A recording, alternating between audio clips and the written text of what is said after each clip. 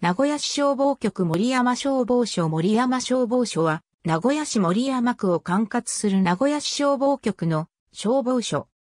1950年11月に東春日井郡森山町は消防組織法制定に伴い、道庁小畑西新13番地に消防本部を設置した。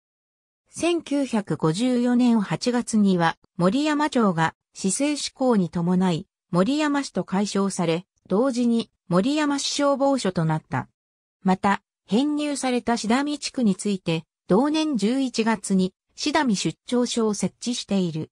森山市消防署は隣接する名古屋市消防署とも協定を締結していたという。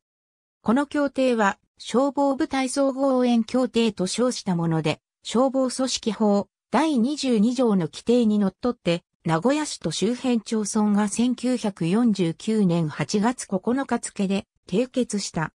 この協定の二条により、森山町一円は通常火災が発生した場合に、名古屋市東消防署からの応援出動を受けることとなっていた。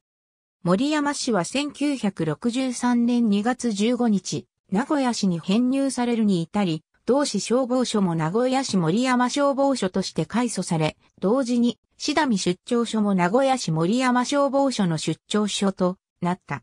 また、前述の消防部隊総合応援協定については、協定区域から除外された。